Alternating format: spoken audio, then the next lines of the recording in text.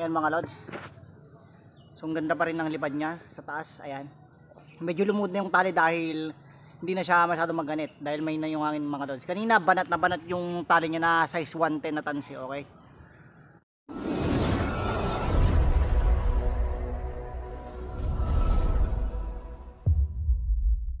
Sabi sa inyo mga lods, kumusta kayo? So, bali, nagbabalik ulit ako kasi ano, ah, bigla lang tong video na to mga lods dahil kakatapos ng ulan, kanina medyo malakas-lakas yung hangin. Napalipad namin yung ano ko, yung jet plane ko na parang Philippines yung ano yung design ng kabalat niya, okay? So, pakita ko sa inyo mga lods para at least may update naman ako sa inyo kasi ilang araw din ako hindi nakakapag-vlog. Ito siya. Ngayon mga lods, punta na tayo. So, bali, basa yung daanan. Dito.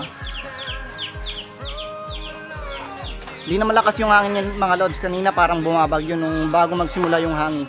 So partida mga lods itong gurian natin medyo mabigat-bigat kasi charol plastic. Pero napatayog natin. Ewan ko ba kung ba't tumayog siya kung o sadya lang malakas lang talaga yung hangin kanina nung pinatayog namin. Naka, naka isang talang lang yan mga lods. Tumayog ka agad. Ito siya. Nakatali siya dito sa may puno ng avocado.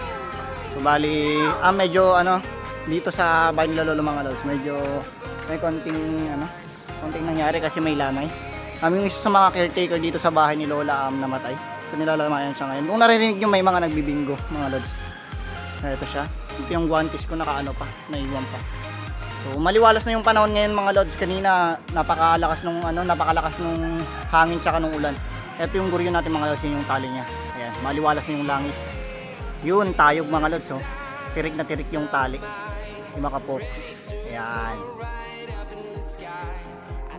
ang layo. Nakalulus yung 300 meters kung tali mga lods. Ayan siya. So di masyado kita yung design niya mga lods dahil malayo na yan. Okay? So eto mga lods um iwanan ko muna dito sa may ano sa may pinagtalian ko kasi ah, makikibingo muna ako dahil medyo masaya sayo magbingo ngayon dahil wala akong magawa. Okay? So, pasensya na kayo mga lods kung mga ilang araw wala rin akong video kasi dala ng busy So may, may mga importanteng inaasikaso dito lang sa ano sa bahay, okay?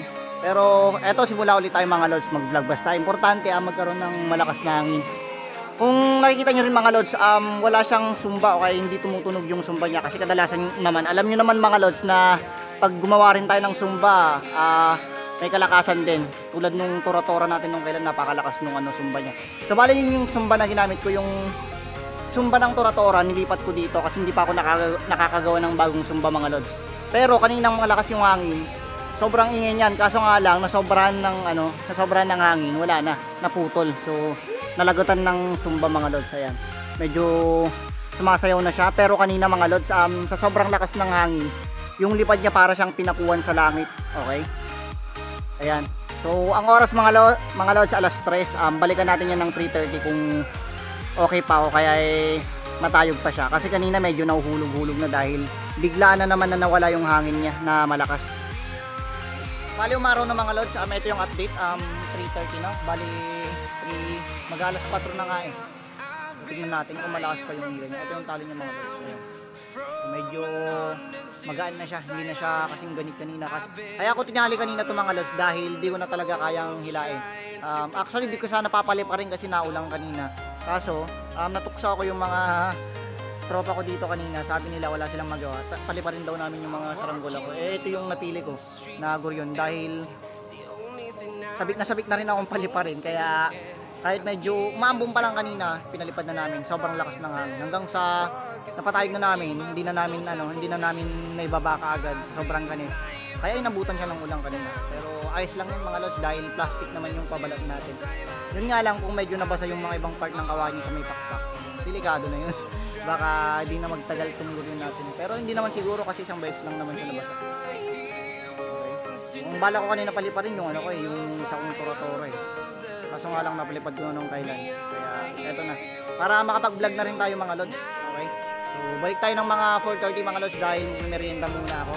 At ako'y nagugutom. Okay? Tara samahan niyo ako mga lods. Yo, what's up? Buy tapang pala. so, biro lang mga lods. Ah, ito yung mumukbang natin ngayon mga lods. Um, wow! So. So, ito yung pala yung merienda dati nung nung ano, nung pumapasok ako, di ba? Hindi ako mahilig sa mga matatamis. Mas mahilig ako sa mga ganito. Tsaka sa ma- maanghang. Ayun, tingnan mo yung mga sili ng suka ko mga lods. So, chicharon tsaka suka. Oh no! Sarap, di ba? Gusto nyo? ah, mukbang tayo dito. So, shoutout nga para sa nag-request nito. Pagkain lang to ng mahinang nilalang sa amin. Naging buhay tapang na tuloy. ah? Ah? Simulan na natin. Tikman muna natin. Mmm! Wow! Masarap! Manghang! So, ito mga sa inyo naman yung sili niya, oh. Siling demonyo yan. Parang Carolina Pepper lang na kinain ni Buy Tapang, di ba? Pagkatapos na pagkatapos na ito mga lord, sigurado magpapawisan ako nito. Diba? Nakapakainit pa naman na ng panahon. Kakaulan lang kanina. Yan. Yan muna yung camera, mga lords. Para makita tayo.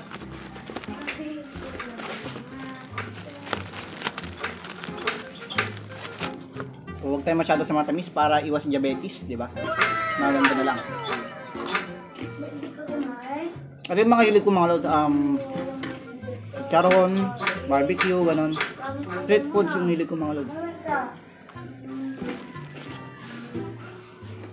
Hindi ako mahilig sa mga dessert na kagaya ng ano ng matatamis yung mga chocolate ganon, di ba? Mga leche flan, hindi ko hilig yung mga yun. So hindi hindi tayo ano poor tayo, hindi tayo social, di ba? Hmm. Lutong, di ba? Boss ebot lang.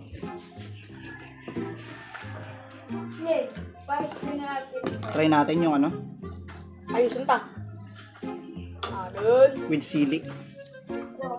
Di ba? Yan. Ayun. Yung pinitis ko. Langya. Ah. Napakalakas ng sili. Demonyo talaga.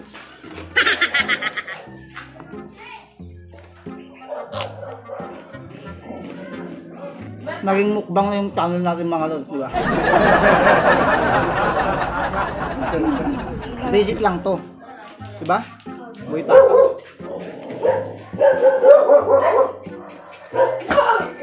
So, balik ako mamaya mga lods. Um, tapusin ko lang itong minumukbang natin para ayos, di ba?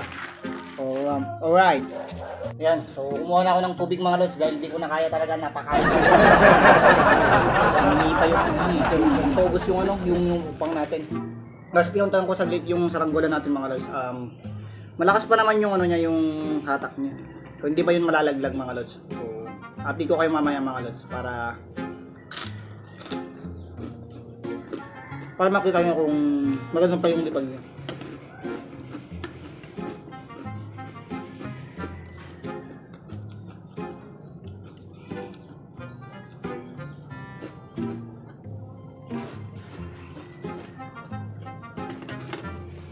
Kaya sa mga nanonood ng vlog na to, um, okay sa mga medyo nakakakilala na sa akin, especially sa mga members sa Saranggola Pilipinas, um, comment kayo kung gusto niyo i-vlog yung ano ko, yung paghahunt ko ng ano ng mga ibon dito na exotic kasi naghahunt kami ng ibon dahil may ginawa akong improvise na ano na bogang tawag doon na Jolin gun, Jolin yung bala niya, okay? Comment nyo lang mga lods para doon natin ng vlog na pag naghan kami, um, luluto namin yung exotic food na ibon na muli namin, okay?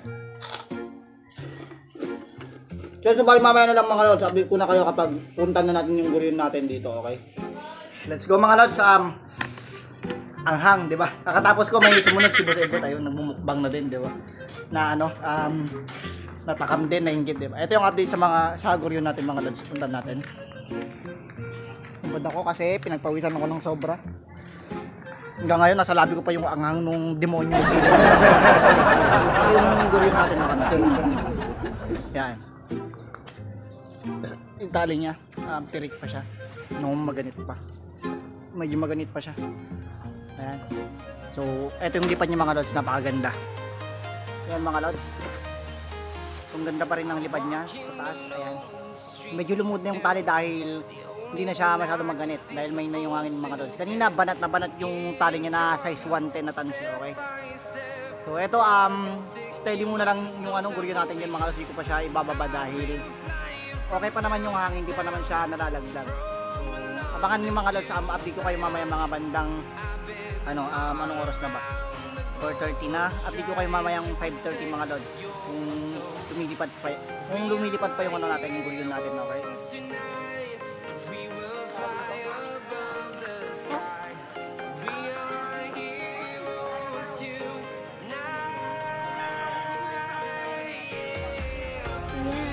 Sinabit niya dyan. Sabit pa mo. Saan ka galing Iboy?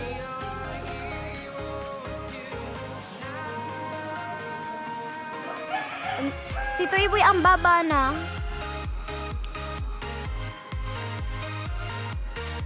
Ayan, so bali, pupulong na kami mga lods. Naka-play na ba yan? Naka-play? Oo. Bali, pupulong na kami mga lods dahil hapon na, okay?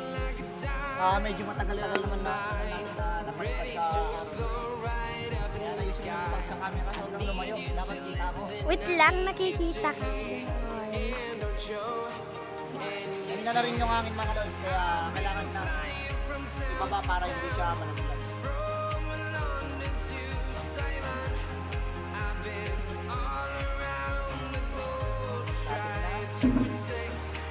Eh, pag nasa video, kuya, parang malayo.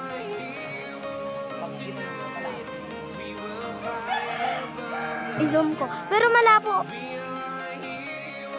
Ayun.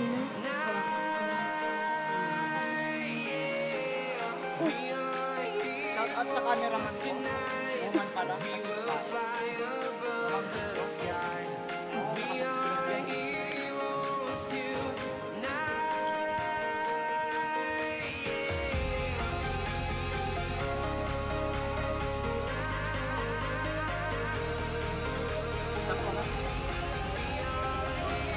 Naka-play na.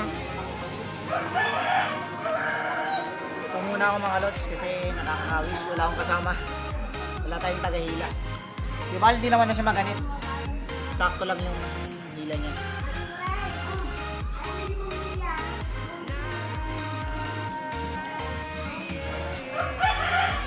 Tagal. Abunin tayo ng siyam-siyam. Anong oras na ba?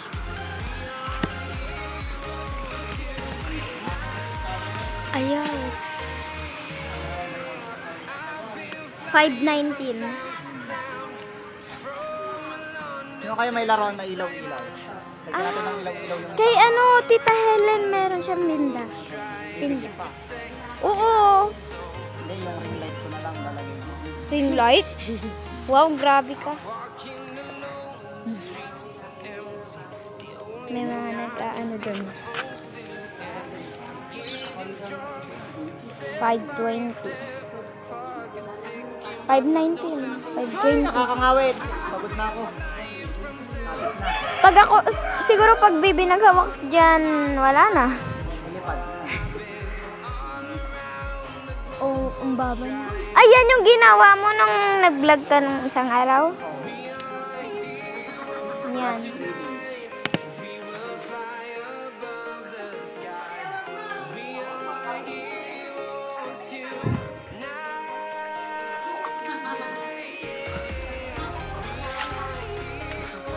Lulutang siya. eh. Balance na balance. Sakto lang yung bigat ng ulo, sakto lang yung bigat ng... Kanina Kuya Iboy nagpababa.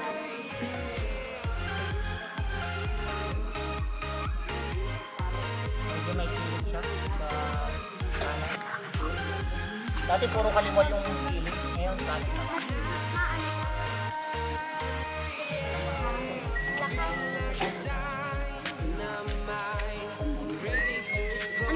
bal? 1723 daw. Ang.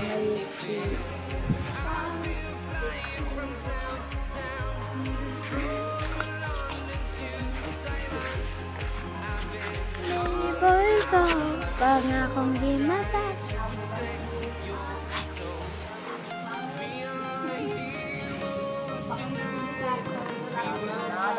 Ng jet plane. Saan kaya ito magka-crush? Ang sigip na ito eh. Ito, Sa puso mo. paliparan. Sa puso mo magka-crash. Lalag.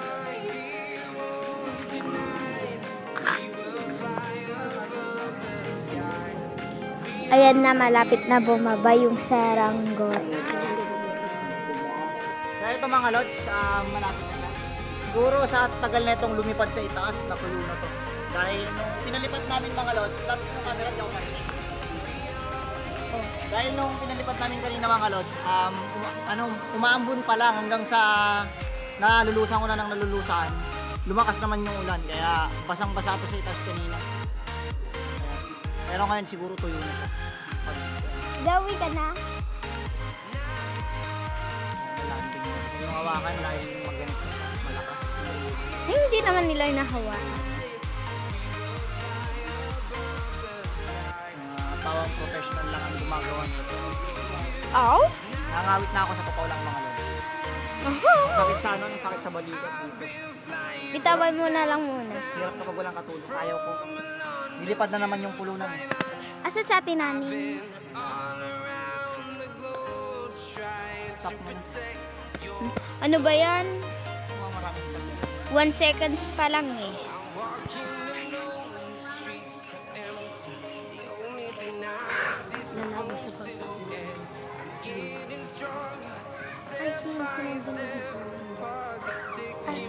Ayan na po, lalanding na.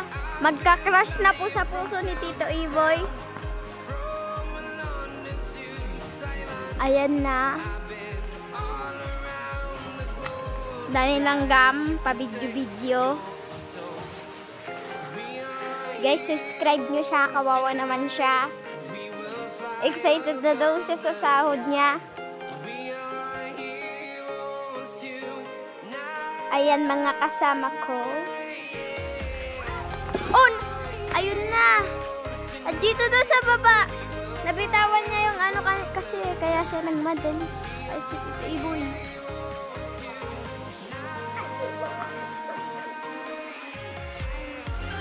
Ayun na. So yun mga lods, um, bali hanggang dito lang muna yung video, di ba? Success naman tayo, okay? So may mga kailangan lang ayusin sa ano niya sa Zumba niya kasi na, na ano, nalagatan siya ng okay? So ayan, sa mga bago pa lang sa channel ko, huwag na huwag niyong kakalimutan mag-subscribe at i-click ang notification bell para palagi kayong updated sa mga video na i-upload ko, okay? So hanggang sa mga susunod na video ko mga lods, God bless.